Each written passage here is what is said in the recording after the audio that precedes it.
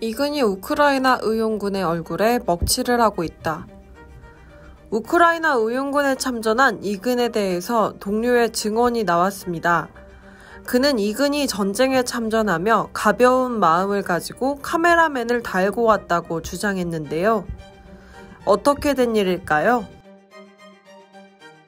지난 3월 우크라이나 러시아 간의 전쟁에 우크라이나 국제의용군으로 참전한 이근.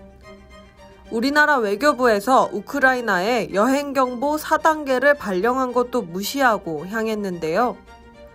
우크라이나 최전선에서 싸우고 있는 다른 한국 의용군이 이근에 대해 충격 증언을 했습니다. 이근이 우크라이나 의용군의 얼굴에 먹칠을 하고 있다. 의용군 A씨는 이근이 군대에 카메라맨을 달고 왔다. 제정신이냐? 라며 비난했습니다. 그렇게 미사일 한 발 떨어지는 거 보고 도망쳐 들어가서는 생각이 짧았다고. 생각이 짧긴 했다. 우리와 같은 양심을 가지고 여기에 온 게 아니다. 라며 지적했는데요. 그는 이근에 대해 한국을 대표하는 것처럼 행세해놓고 대한민국 국민이 미개하다는 둥 헛소리를 하면 우리는 뭐가 되냐고 말했습니다. 앞서 이근은 자신의 SNS에 간다고 하면 간다고 안 가면 안 간다고 역시 우리나라 수준이라고 지적한 바 있습니다.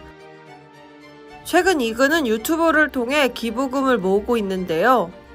A씨는 이 점에 대해 이근의 매니저는 전 재산을 털어 우리를 지원해 주시는 분한테 1,500만 원짜리 야간 투시경을 사오라고 시킨 사람. 염치가 없다. 수금해도 우리 얼굴에 먹칠은 안 할 수 있지 않냐고 지적했습니다. A씨는 우크라이나에 간 한국인 의용군들이 신념과 양심에 따라 행동했다고 강조했습니다. 한편 이근과 함께 출국했던 로건은 3월 16일 귀국했으며 지난달 11일 서울경찰청은 로건을 비롯한 이근 등 5명을 여권법 위반 혐의로 검찰에 송치했습니다.